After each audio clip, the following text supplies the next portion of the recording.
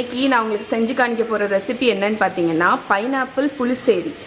Pineapple மோர் குழம்புன்னு கூட சொல்லிக்கலாம். ஸோ ரொம்ப ஈஸி ரொம்ப டேஸ்டி இது வந்து எங்கள் ஊர் நாகர்கோயில் ப்ளஸ் கேரளா. இன்ஸ்பயர்டான ஒரு ரெசிபி எங்கள் ஊரில் முக்கால்வாசி கல்யாணம் ஃபங்க்ஷனில் இது வச்சுருவாங்க.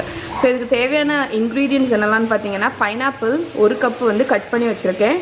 அரை கப் வந்து அரைச்சி வச்சுருக்கேன். அதுக்கப்புறம் மஞ்சள் பொடி அதுக்கப்புறம் சில்லி பவுடர் இது வந்து தயிர் க- நல்லா பீட் பண்ணி வச்சுருக்கேன். அரைக்கிறதுக்கு வந்து தேங்காய் பச்சை மிளகா ஜீரகம் இவ்வளோ வச்சுருக்கேன். இந்த சின்ன கண்டெய்னரில் வந்து அதுக்கப்புறம் இது வந்து சால்ட்டும் சுகரும் தேவைக்கு தக்கன வச்சுக்கோங்க. அதுக்கப்புறம் இதில் வந்து தாளிக்கிறதுக்கு வந்து கடுகு உளுத்தம்பருப்பு வரமிளகா கருவேப்பிலை. ஸோ இப்போ நம்ம வந்து இந்த புளிசேரி எப்படி பண்ணிடலான்னு பார்த்துடலாம் ஸோ ஃபஸ்ட்டு ஒரு ஜாரில் வந்து அரைக்கக்கூடிய இன்க்ரீடியன்ஸ் போட்டுடலாம். தேங்காய்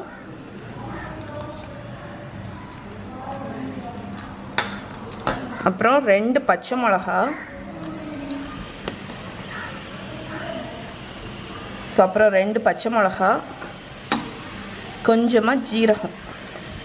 ஸோ இதை வந்து நான் நைஸாக அரைச்சி எடுத்துட போகிறேன்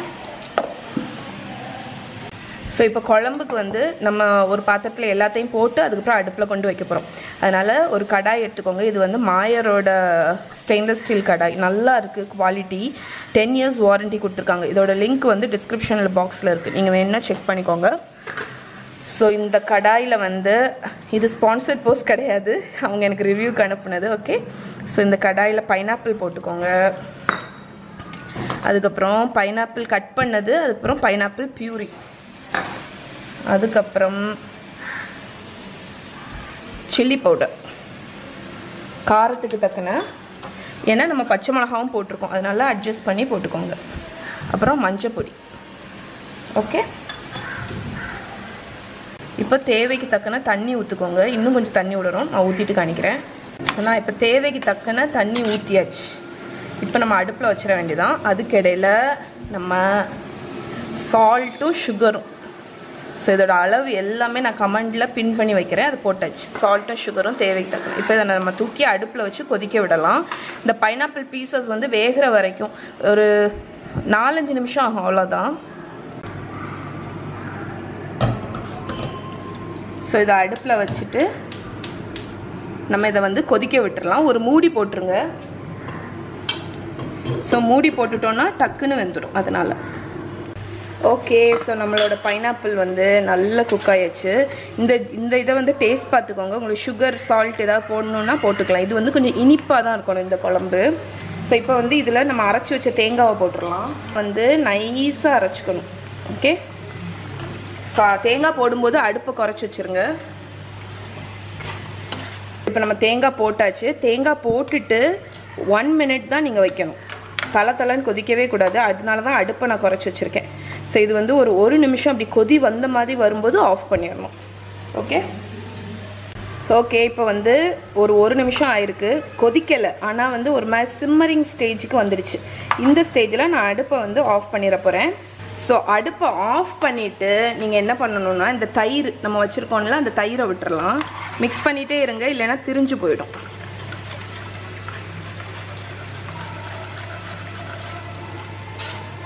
ஓகே அவ்வளோதான் ஸோ குழம்பு வந்து ரெடி ஆயிடுச்சு.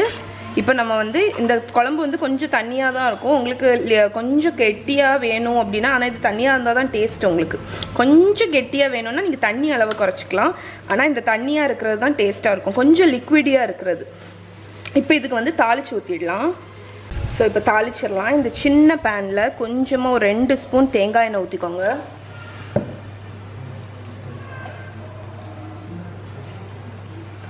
ஸோ தேங்காய் எண்ணெய் காஞ்ச உடனே கடுகு உளுத்தம்பருப்பு கருவேப்பிலை ரெண்டு வரமிளகா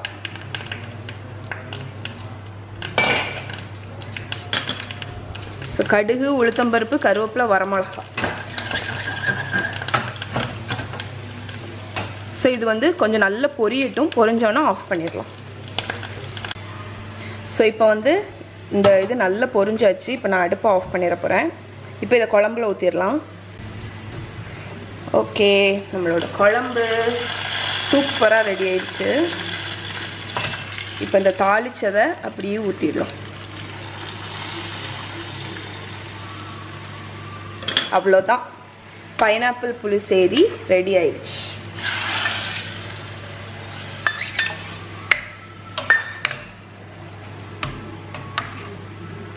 ஓகே ஸோ நம்மளோட சுவையான பைனாப்பிள் புளிசேரி ரெடி ஆகிடுச்சு பாருங்கள் இது வந்து பிளெயின் ரைஸ் கூட உருளைக்கிழங்கு பொரியல் இஞ்சி பச்சடி வச்சு சாப்பிட்டிங்கன்னா ரொம்ப நல்லாயிருக்கும்.